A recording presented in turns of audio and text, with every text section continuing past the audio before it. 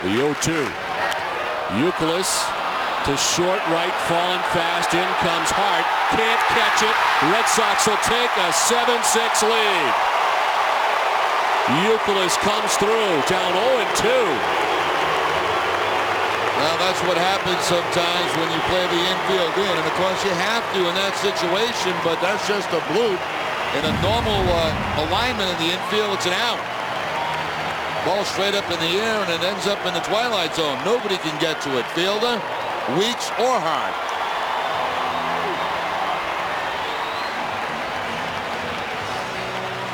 Pedroia playing it uh, down the line, he knows. I mean, if the ball's caught, he can't he can't score.